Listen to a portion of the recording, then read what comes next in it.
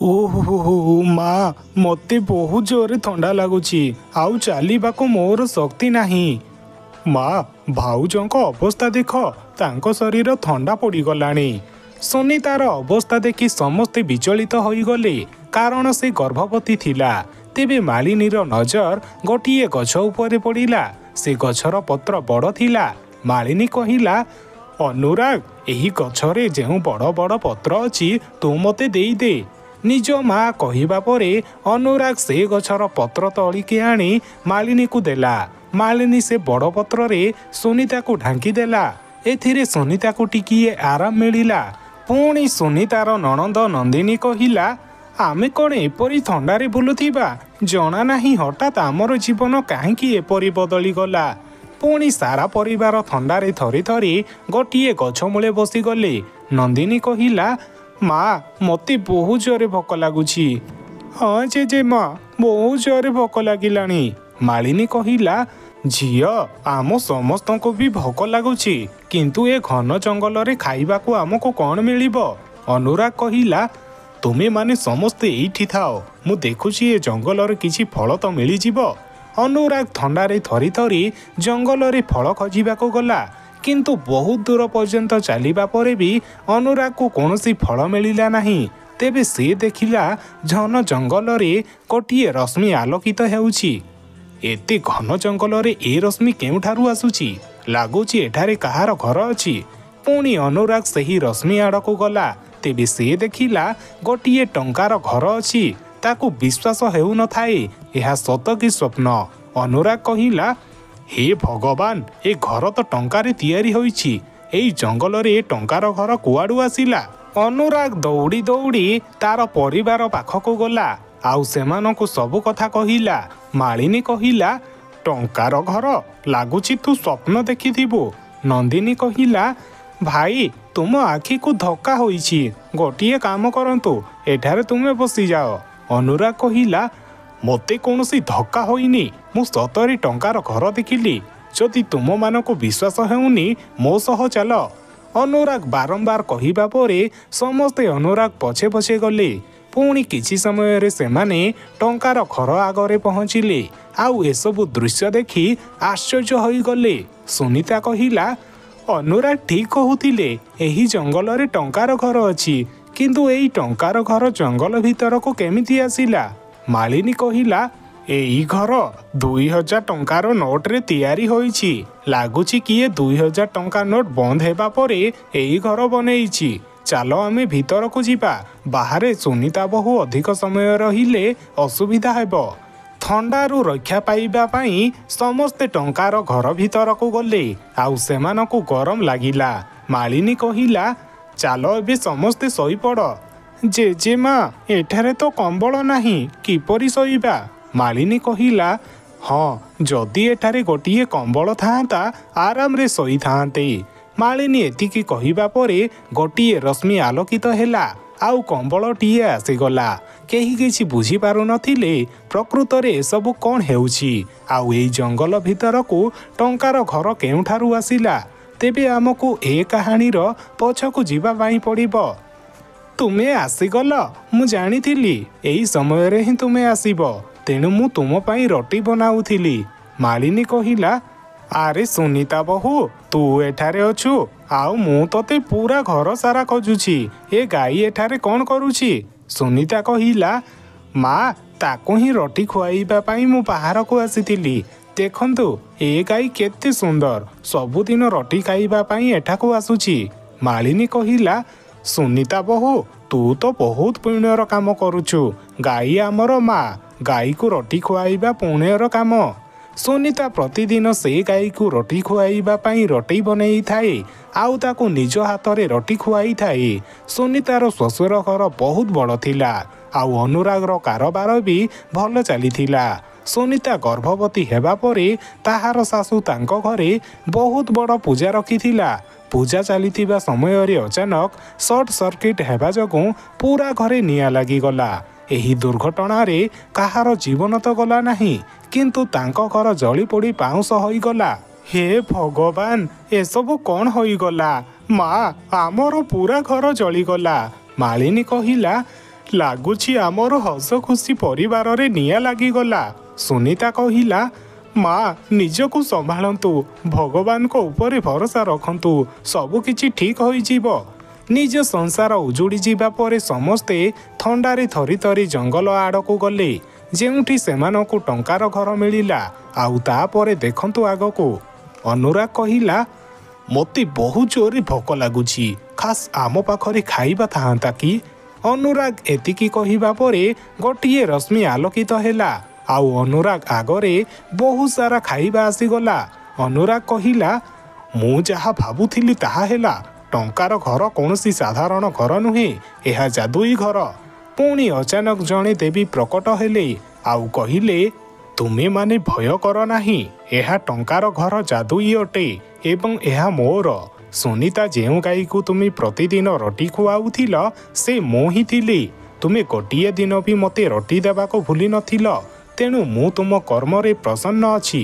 ଆଉ ମୁଁ ବରଦାନ ରୂପରେ ଏଇ ଟଙ୍କାର ଘର ତୁମକୁ ଦେଲି। ଏହା ଏକ ଯାଦୁଇ ଘର।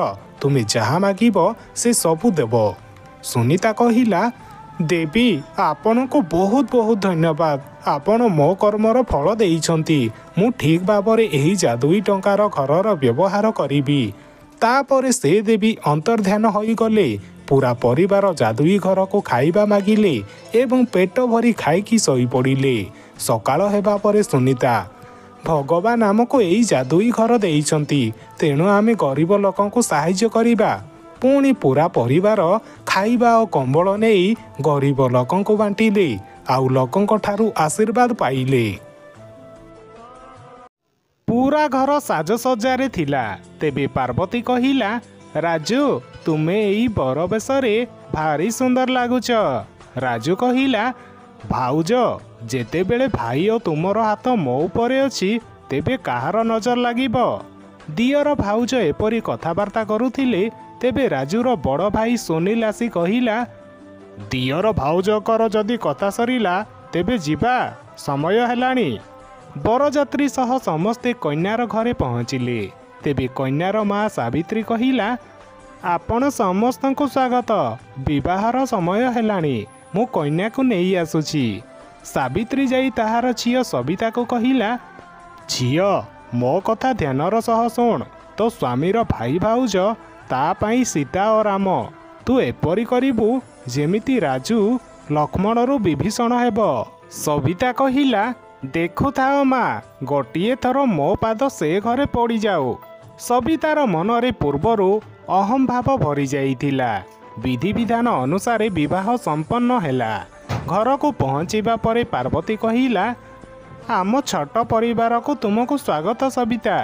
ସବିତା କହିଲା ଯଦି ତୁମର ପରମ୍ପରା ସରିଲା ତେବେ ମୋର ରାସ୍ତା ଛାଡ଼ି ଦିଅ ମୁଁ ବହୁତ ଥକି ଯାଇଛି।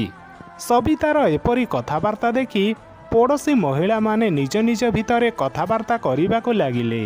ତେବେ ଯମୁନା କହିଲା ପାର୍ବତୀ କିପରି ଯାହାକୁ ବାହାଘର କରି ଆଣିଛୁ? ନୂଆ ବୋହୂର ଏପରି ବ୍ୟବହାର? ଛି ଛି। ପାର୍ବତୀ କହିଲା ଏମିତି କୌଣସି କଥା ନାହିଁ। ବାହାଘରରେ ନୂଆ ବୋହୂ ଥକି ଯାଇଛି ନା? ତେଣୁ ତାର ମନ ଚିଡ଼ିଚିଡ଼ା ହୋଇଯାଇଛି। ଏହିପରି ପାର୍ବତୀ କଥାଟାକୁ ସମ୍ଭାଳି ନେଲା। କିନ୍ତୁ ସମୟ ବିତିବା ପରେ ପାର୍ବତୀକୁ ମଧ୍ୟ ସବିତାର ଅହଙ୍କାର ସଫା ଦେଖାଯାଉଥିଲା। ଏହିପରି ଗୋଟିଏ ଦିନ ସବିତା ତୁମେ ମୋ ସ୍ୱାମୀ ଉପରେ କ'ଣ ଯାଦୁ କରିଛ? ସେ ସବୁବେଳେ ତୁମର ଗୁଣଗାନ କରୁଛି। ତୁମର ତ କଳ ଭରିଲାନି। ଆଉ ତୁମ ଭଳି ବାଞ୍ଝକୁ ଦେଖି ଦେଖି ମୋ କଳ ବି ଭରିବନି। ତେବେ ସେହି ସମୟରେ ସୁନୀଲ ଆସିଲା। ଆଉ ସେ କହିଲା ମୋ ସ୍ତ୍ରୀକୁ ଏମିତି ଉଚ୍ଚ ସ୍ୱରରେ କହିବାକୁ ତୁମର ସାହସ କିପରି ହେଲା? ପାର୍ବତୀ ଆଜି ପର୍ଯ୍ୟନ୍ତ ଏଥିପାଇଁ ମା ହୋଇପାରିଲାନି ଯେମିତି ତୁମ ସ୍ୱାମୀର ଦେଖାଶୁଣାରେ କମ୍ ନ ହୁଏ। ତେବେ ରାଜୁ କହିଲା ବା ଭାଇ ବା ତୁମ ଦୁଇ ଜଣଙ୍କ ମନରେ ମୋ ସ୍ତ୍ରୀ ପାଇଁ କେତେ ଅହଙ୍କାର ରହିଛି ମୋତେ ଆଜି ଜଣାପଡ଼ିଲା। ଆମେ ଏବେ ଏଠାରେ ଗୋଟିଏ ମୁହୂର୍ତ୍ତ ରହିବୁନି। ତେବେ ପାର୍ବତୀ ସେମାନଙ୍କୁ ବୁଝେଇବାକୁ ଚେଷ୍ଟା କଲାବେଳେ ସେ ବେହୋସ ହୋଇ ତଳେ ପଡ଼ିଗଲା। ଡକ୍ଟର ଆସିଲେ ଆଉ ଚେକଅପ୍ କରି କହିଲେ କି ପାର୍ବତୀ ଗର୍ଭବତୀ। ଏହା ଶୁଣି ଅହଙ୍କାରୀ ସବିତା ନିଜ କୋଠରୀକୁ ଆସି କହିଲା ଅଚାନକ ଏ ଗର୍ଭବତୀ କେମିତି ହୋଇଗଲା? ପୁଣି ସବିତା ମଧ୍ୟ ନିଜର ପ୍ରେଗନେନ୍ସି ଚେକ୍ କଲା।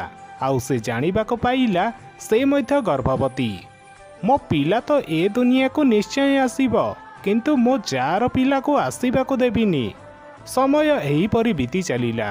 ପାର୍ବତୀର ପେଟରେ ବଢ଼ୁଥିବା ପିଲାକୁ ମାରିବା ପାଇଁ ସବିତା ବିଭିନ୍ନ ତରିକା ଆପଣେଇଲା କିନ୍ତୁ ସଫଳ ହୋଇପାରିଲାନି। ଏପରି ଗୋଟିଏ ଦିନ ସବିତା ଏଇ ଛୋଟମୋଟ ଚାଲ କିଛି ହେବନି ଆଜି ମୁଁ ଏଇ ଖରାପ ଜୁସ୍ ପାର୍ବତୀ ଦିଦିଙ୍କୁ ପିଆଇ ଦେବି। ପୁଣି ତାଙ୍କ ପିଲା ମରିଯିବ। ତାକୁ ଜଣା ନଥିଲା ତାହାର ସ୍ୱାମୀ ରାଜୁ ସବୁ କିଛି ଶୁଣୁଥିଲା। ତେବେ ସେ ଆସି ସବିତାକୁ ଥାପଡ଼ ମାରି କହିଲା ଭଲ ହେଲା ମୁଁ ତୁମର ଅସଲି ଗୁଣ ଦେଖିନେଲି। ଧକ୍କାବାଜ ମହିଳା ଏବେ ମୁଁ ବୁଝିପାରୁଛି ମୋ ଭାଉଜ ଭୁଲ ନଥିଲେ। ସେ ଗର୍ଭବତୀ ହେବା ପରେ ବି ତୁମର ଦିନ ରାତି ସେବା କରୁଛନ୍ତି କିନ୍ତୁ ତୁମେ ତାଙ୍କର ଖୁସି ଚଢ଼ାଇବାକୁ ଚାହୁଁଛ। ସବିତା କହିଲା ମୋତେ କ୍ଷମା କରିଦିଅନ୍ତୁ।